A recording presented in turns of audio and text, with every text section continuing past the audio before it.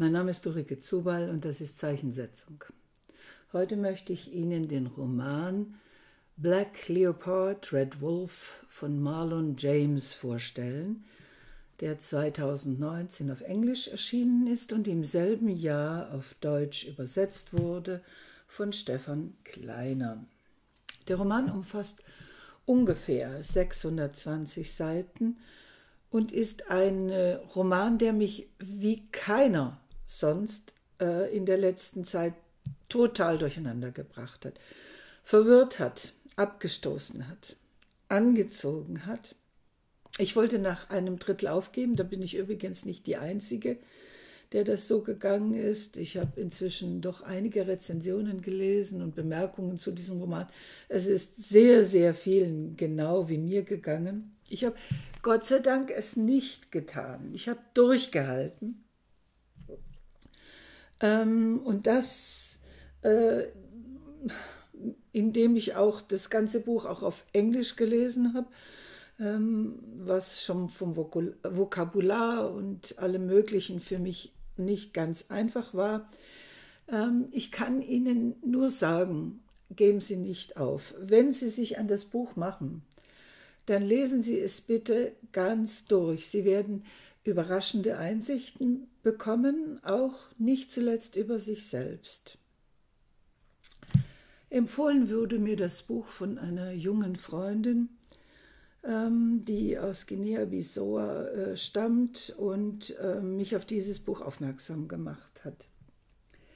Ähm, und sie hat gesagt, äh, lies das doch mal. Äh, es geht auch um ein Selbstbewusstsein, einer POC, mm, von POC-Literatur. Und es wird, äh, es ist ein Buch, was in der letzten Zeit eben total gehypt wird.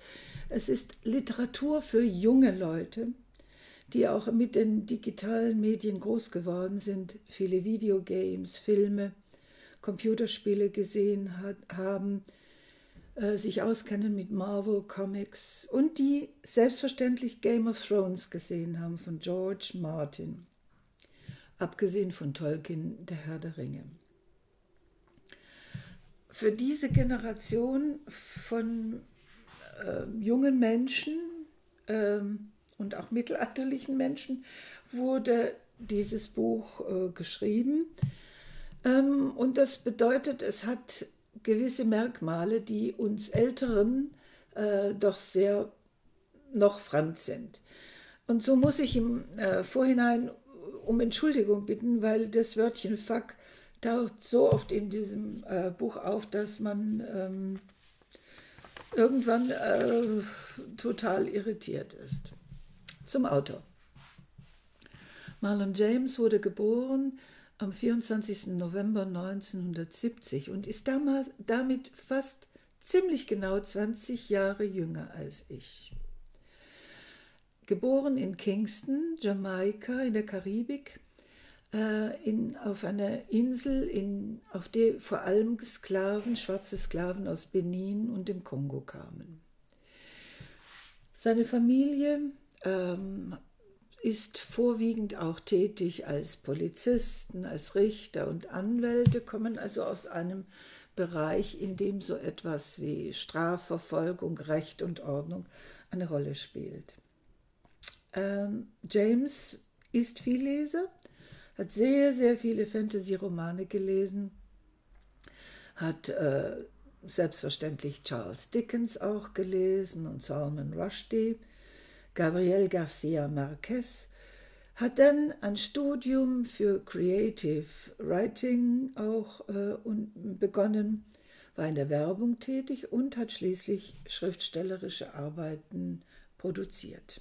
Er ist von Jamaika in die USA geflohen, wie er das beschreibt. Als bekennender Homosexueller ähm, war er großen Anfeindungen in Jamaika ausgesetzt. Man hat sogar ein Exorzismusritual an ihm vollzogen, um ihm sein Gay-Sein auszutreiben. Jamaika, eine ehemalige britische Kolonie, die viele bis 1962, die viele vom Reggae und Rastafara her kennen. Bob Marley wird Ihnen allen ein Begriff sein. Zwei Drittel der Einwohner dort sind Protestanten und James ist regelmäßig in die Kirche gegangen und hat den Gottesdienst besucht. James hat dann in Minnesota äh, unterrichtet im College englisches Creative Writing und kam 2014 mit einem Roman heraus, der 700 Seiten umfasst, 75 Figuren und Stimmen äh, vereinnahmt und sehr viele Rechercheure auch beschäftigt hat. A Brief History of Seven Killings. Deutsch ist das von fünf Übersetzern äh, äh, übertragen worden. James hat viele Preise bekommen, war Finalist auf mehreren Buchpreislisten und ähm, hat nun eben 2019 dieses Buch Schwarzer Leopard, Roter Wolf herausgebracht. Das ist der erste Teil einer dreiteiligen Fantasy-Saga, Dark Star, und kam im selben Jahr der Publikation auf die Shortlist des National Book Award, also gleich äh, hoch äh, gelistet worden. Im selben Jahr kam Marlon James auf, äh, im Magazin Time auf die Liste der 100 einflussreichsten Persönlichkeiten des Jahres 2019. Die Rezeption des Buches war euphorisch. Die Pressestimmen haben sich mit Lob überboten. Ich nenne jetzt zwei Stimmen. Salman Rushdie hat gesagt, it's a fabulous reimagining of Africa. The New Yorker hat geschrieben, That thunder you hear is the jealous rage of Olympian gods. Also den Donner, den man in diesem Buch sozusagen hört, ist äh, oder auf dieses Buch hin hört, das ist äh, die äh, eifersüchtige Wut der olympischen, der griechischen Götter, die auf diese Götter und ähm, Mythen äh, eifersüchtig sind. Man hat gesagt, das ist ein African Game of Thrones und eine Mythic Version of Ancient Africa, also eine Version der Mythen äh, des alten Afrika. Es gehört zum Genre der Fantasy Literature ähm, und der African Traditional Religion Realism, also des der traditionellen afrikanischen ähm, Religion, die sich in ähm, realistisch geschriebenen Werken äh, kundtut. Die Koexistenz von Geistern in der äh, realistischen, in der realen, in der materiellen Welt ist äh, natürlich, ist auch ein wichtiger Aspekt im traditionellen afrikanischen Leben aber eben nicht nur in Afrika.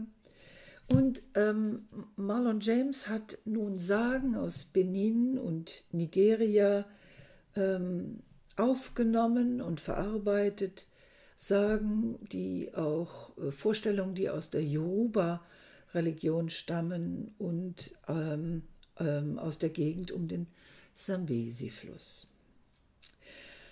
Der Gesamteindruck dieses Buches ist ein ziemlich brutaler. Es ist eine Geschichte voller Gewalt, Folterungen, Hardcore-Sex, Vergewaltigungen, Mord, Monster, Gestaltwandler, Geister, Hexen, Zauberer. Es gibt unendlich viele Fiktszenen. Es ist albtraumhaft geschrieben. Es ist ekelerregend, schockierend, tabubrechend und äh, auf so verstörende Art und Weise erzählt es seine Geschichte, dass man eben ein Drittel des Buches verloren da sitzt und liest und dann irgendwann aufhört zu lesen, was man aber nicht tun sollte, weil das Ganze dann auf einmal Kontur annimmt und ausgesprochen spannend wird und ähm, ähm, ja, manche Sachen sind etwas anstrengender, aber sehr oft lohnt es sich auch anstrengende Wege zu beschreiten.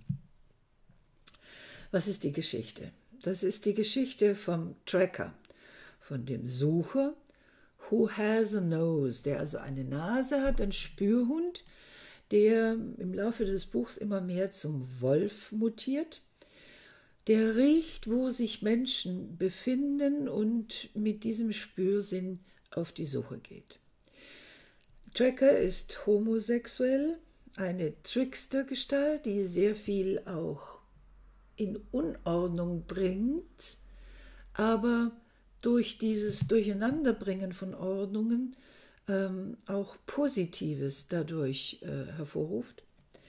Und Tracker erzählt nun sein Leben. Er sitzt in einer Zelle, ist gefangen, wird verhört und erzählt einem Inquisitor, einem Befrager, sein Leben. Und zwar seine Version seines Lebens, seiner Handlungen, die man nicht unbedingt glauben darf. Er erzählt, wie er auf die Suche nach einem Jungen gesetzt wurde und dass diese Suche mit dem Tod des Jungen geendet habe. Dieser Junge wird nun von vielen gesucht. Er ist der Sohn der Schwester des Königs und unrechtmäßig von seinem Thron gebracht worden, um seinen Thron gebracht worden von dem Bruder äh, der Mutter. Und da spielt so etwas wie Matrilinearität und Patrilinearität hinein, ähm, also die äh, Themen, die gerade für Afrika auch immer wichtig sind, wer äh, ist der Haupterbe, jemand, der von der Mutter stammt oder vom Vater stammt. Und ähm, auch darum geht es in diesem Roman. Jetzt suchen diesen Jungen drei Parteien. Zum einen die Mutter, die ihn lieben und schützen will. Zum anderen der Königbruder, der ihn töten will, um seine Herrschaft zu sichern. Und zum dritten Monster, die die Unschuld des Jungen für ihre eigenen Zwecke einsetzen. Tracker wird beauftragt, gerät zwischen die Parteien und gerät von einem Horrorszenario ins nächste.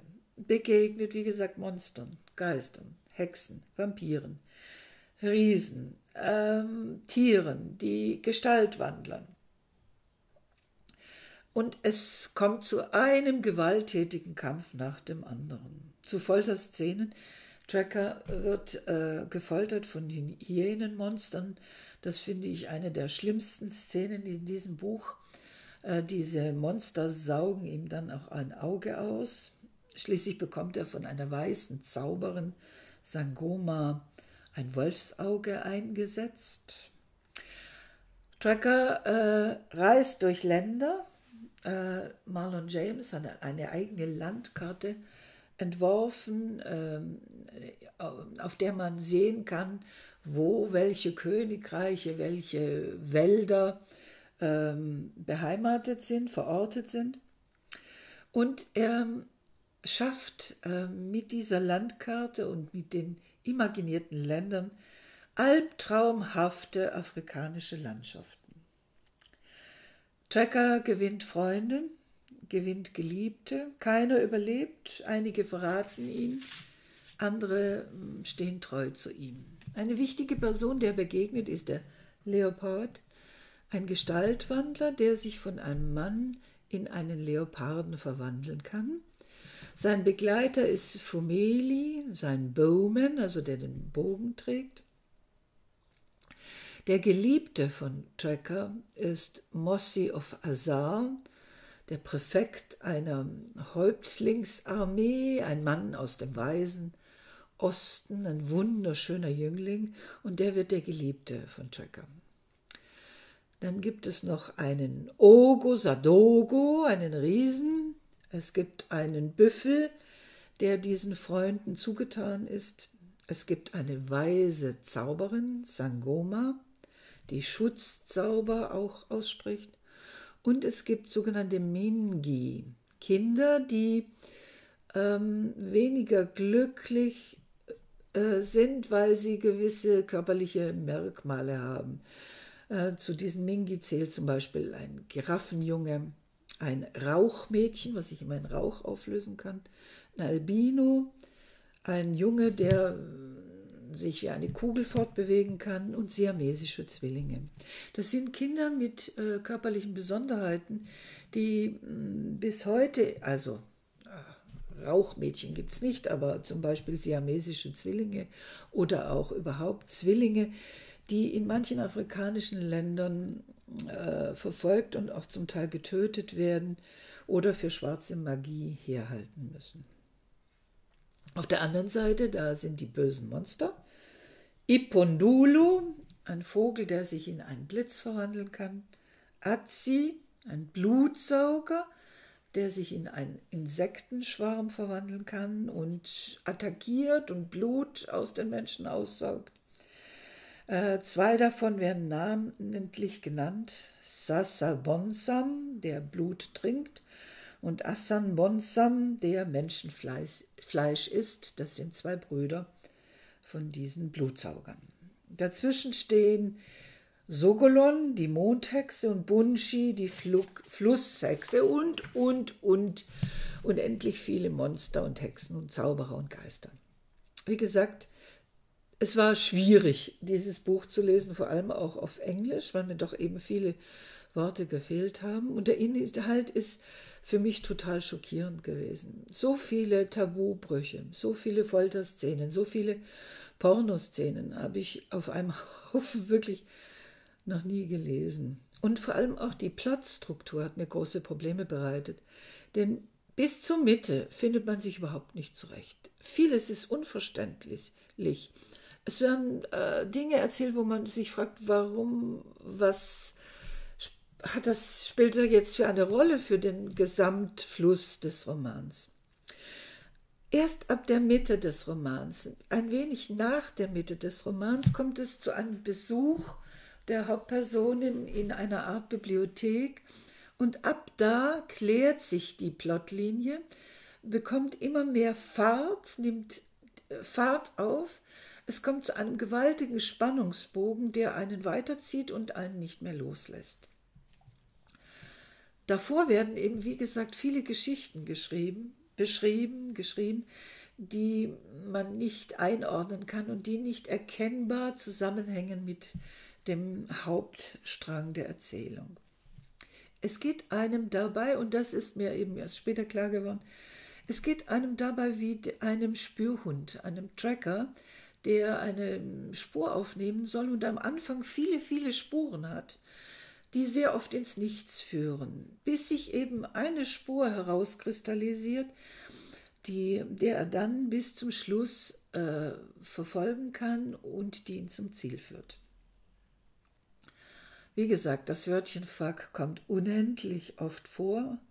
Fuck the Gods taucht auf mancher Seite fünf, sechs, sieben Mal auf.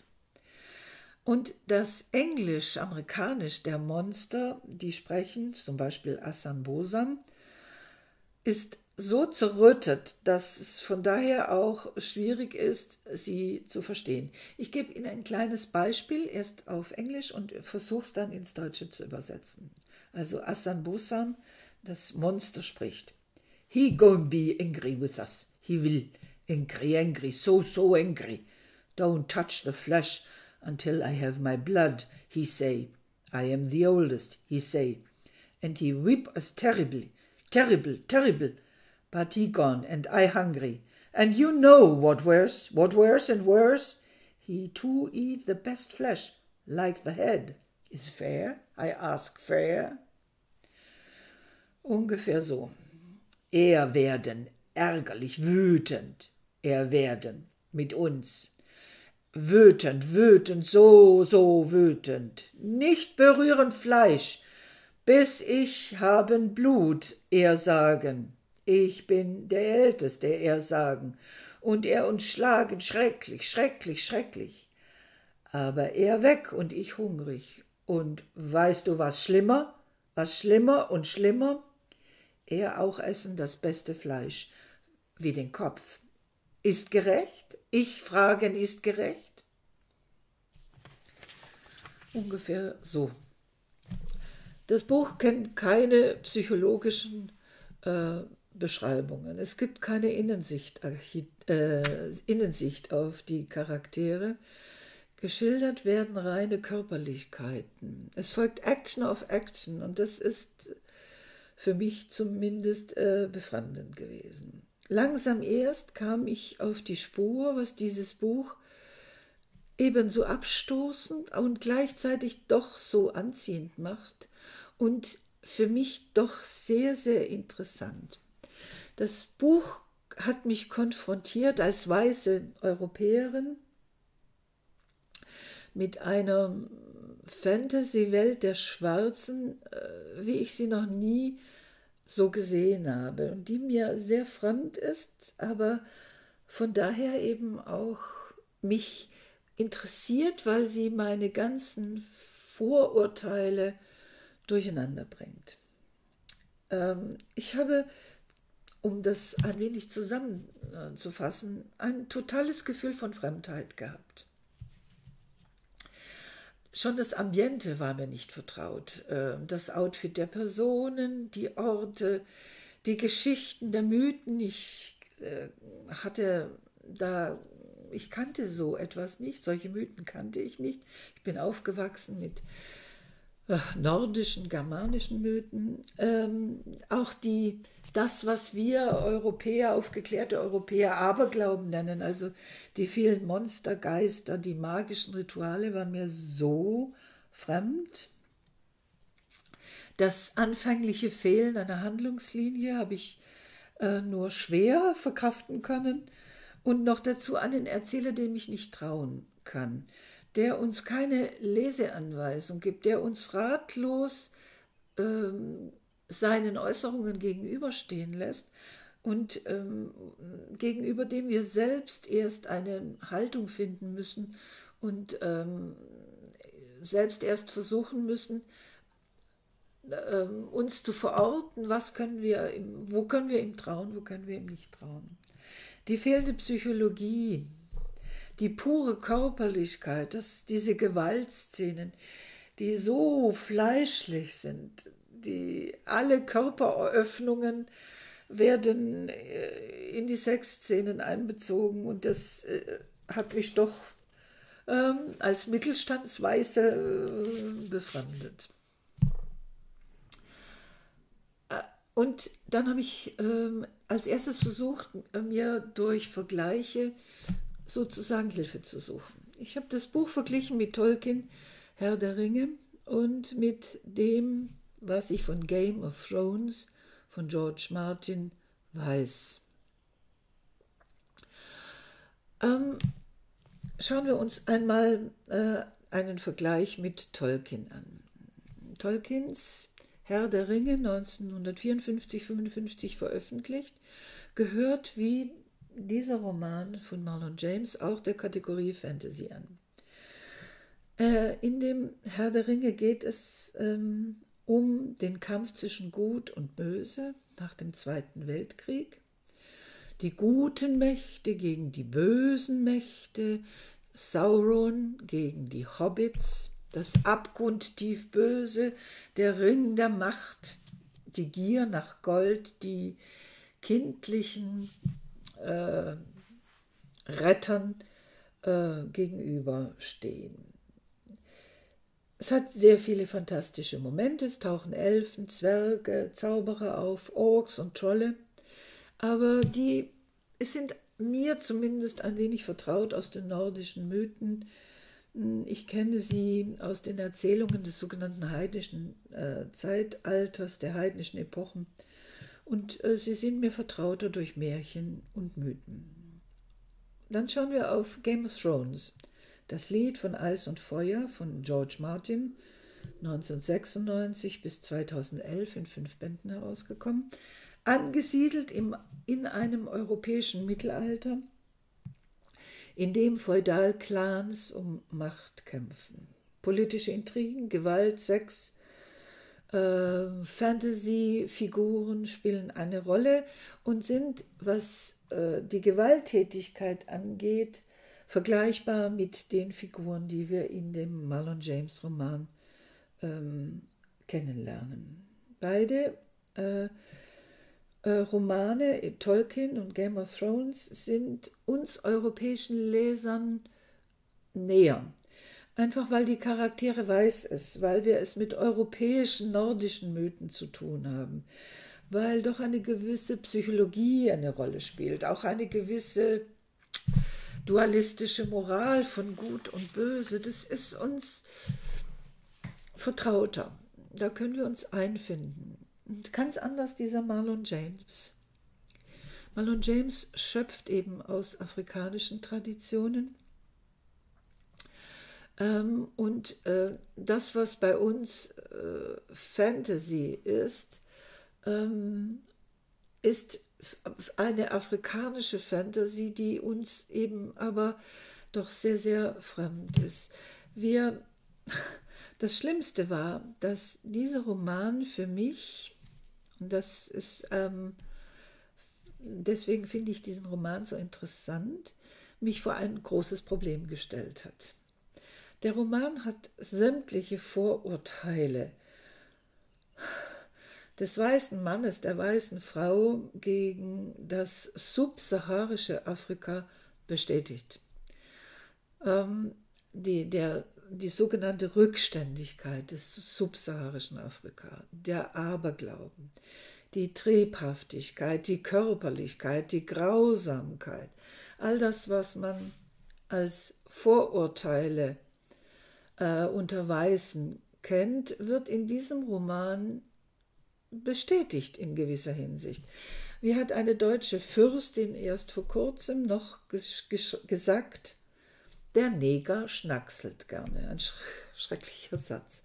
Und ähm, für mich ne, war die, ich hoffe, eine aufgeklärte, nicht rassistisch denkende Europäerin zu sein, war das ähm, das Schlimmste ich, so will man nicht sein. Solche Vorurteile will man nicht haben. Man liebt eben, man will ein modernes Afrika sehen. Man will Afrikaner sehen, die Banker sind, die westlich gebildet sind, IT-Manager. Man will im Grunde genommen schwarze Europäer sehen, weil äh, das ist einem vertraut und ähm, das lässt eben keine sogenannten abwertenden Vorurteile aufkommen. Und dann nun dieses Buch. Ein Schwarzer, der eine Welt beschreibt, die für uns aufgeklärte Europäer ähm, verabscheuenswürdig ist. Und das beschreibt er noch dazu mit dem größten Selbstbewusstsein. Absolut positiv.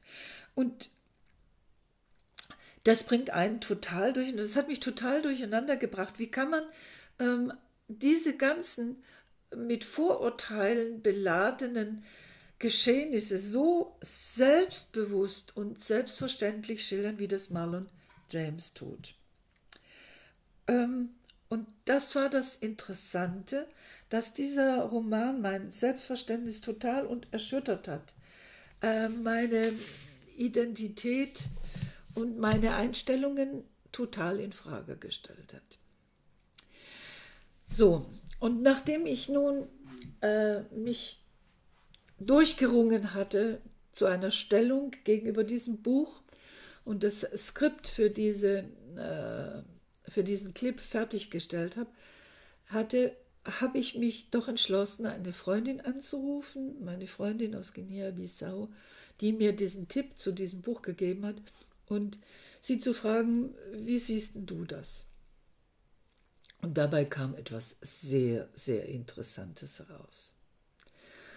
Es kam nämlich heraus, dass ähm, kein Leser, der heute Tolkiens Herr der Ringe liest oder als Film sieht, oder ähm, dem Game of Thrones von George Martin, keiner von uns käme auf den Gedanken, dass das, was dort gezeigt wird, irgendeinen Bezug zur Realität in Europa oder den USA haben könnte. Es ist Fantasy. Nichts als Fantasy, sonst nichts. Es ist einfach unterhaltend, spannend, Fantasy, greift auf Mythen zurück, auf Geschichten, die wir kennen aus den Märchen, aus den Sagen, aber es ist nichts anderes als Fantasy. Und wieso kommt es, dass wir, wenn wir einen Fantasy-Roman lesen, wie den von George, von äh, Marlon James, diesen Roman mit einer afrikanischen Wirklichkeit zusammenbringen wollen? Warum äh, glauben wir hier Vorurteile zu bestätigt zu finden, was uns abstößt, was uns durcheinander bringt? Es geht gar nicht um Afrika. Es geht auch nicht um Afrika heute, sondern es ist wie diese meine Freundin sagt, it's Fantasy. Es ist nichts als Fantasy. Und zwar ein Fantasy-Roman, der nun eben freilich neue Motive, neue Mythen bringt aus Afrika, die uns Europäern, uns US-Amerikanern nicht vertraut ist, aber die eine Fülle von neuen Möglichkeiten äh, bieten, äh, Fantasy-Charaktere zu schildern. Und das hat mich doch sehr, sehr frappiert, dass auch eben äh, offensichtlich dieser Rassismus in mir noch drin ist, dass ich dieses Buch von Marlon James ähm, bezogen habe auf schwarze Identität, Identität von Schwarzen, von Afrikanern, von äh, es überhaupt in Verbindung gebracht habe äh, mit Afrika, wie übrigens ja Salman Rushdie auch. Ähm, damit hat es überhaupt nichts zu tun. Es ist Fantasy und nichts anderes als Fantasy. Und so sollte man es lesen. Ausgesprochen spannend geschrieben und ähm, eröffnet eben eine neue Welt mit neuen Fantasy-Figuren, wie wir sie so noch überhaupt nicht kennen. Marlon James, Schwarzer Leopard, roter Wolf, 2019 erschienen und im selben Jahr ins Deutsche übersetzt.